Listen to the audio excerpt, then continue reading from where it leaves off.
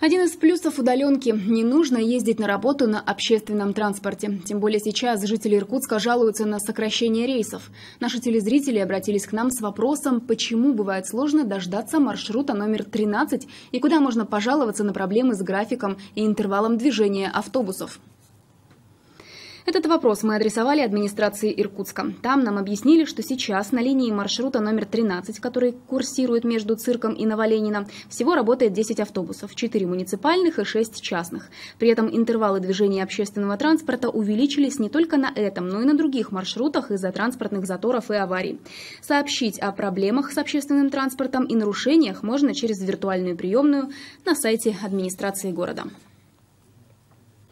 Если и у вас есть подобные вопросы, ответы на которые будут интересны всем телезрителям, звоните нам на горячую линию с 10 утра до 6 вечера. Наш телефон прежний 792 402. Отправить информацию можно также через интернет по адресу rnewssobaka.nts.tv.ru.